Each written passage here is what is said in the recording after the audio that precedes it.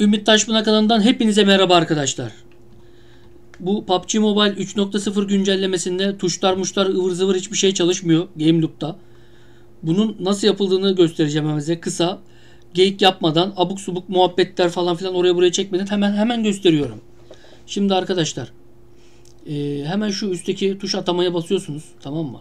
Çok basit hemen hemen yapın. Şu görmüş olduğunuz bak şu tiki bu tiki bunu bunların hepsini kaldırıyorsunuz.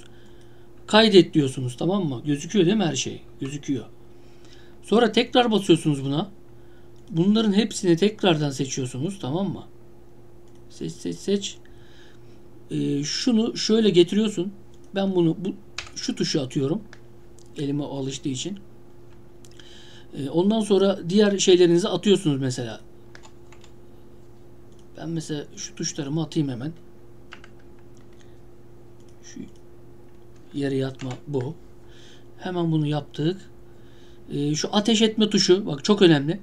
Bunu birazcık şöyle aşağı doğru çekiyorsunuz. Çok az. Aşağı çekin. Kaydedin. Tamam mı? Bak oku kaybettim. Oku geri getirdim. Şöyle ta ekrana tamlayalım. Tam ekran. Şimdi oku kaybettim. Bak gördüğünüz gibi mouse çalışıyor.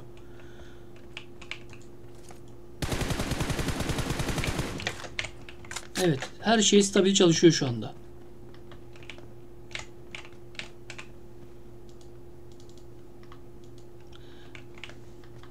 Bu da çalışıyor.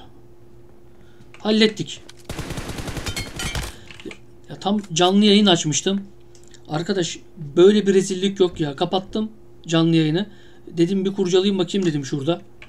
Çözdüm hemen yani. Bu nedir abi ya? Hemen yaptık. Evet arkadaşlar. Bu sorunu yaşayan kim varsa herkese duyurun. Hemen videoyu çektiğim anda hemen atıyorum kanala. İzleyerek yapın. Bir Allah razı olsun dersiniz. Bir de böyle bir abone olup like atarsınız böyle inceden. Yani. Hadi kendinize iyi bakın. Hadi Allah'a emanet. Edit falan yapmadan direkt çakıyorum ha videoyu.